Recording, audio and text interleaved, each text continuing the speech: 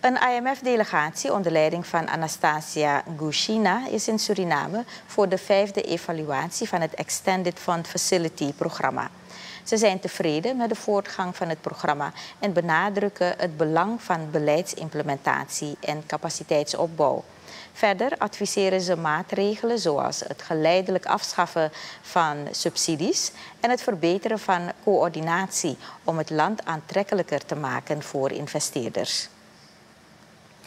Een Braziliaanse delegatie van Assai-deskundigen is in Suriname voor een project over duurzame Assai-landbouw in samenwerking met Surinaamse ministeries en de Brazilian Cooperation Agency. Het project omvat capaciteitsversterking door trainingen over onder andere teelt, bodemgesteldheid en verwerking van podosiri.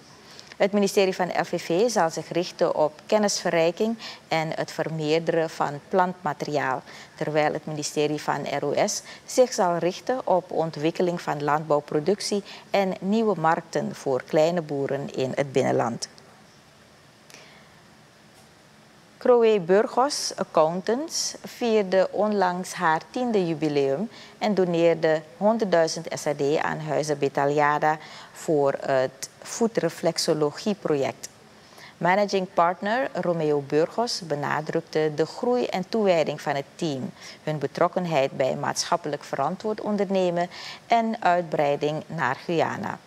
Als lid van Crowe Global, een internationaal accountantsnetwerk, kijkt het bedrijf uit naar verdere groei en ontwikkeling in Suriname en Guyana.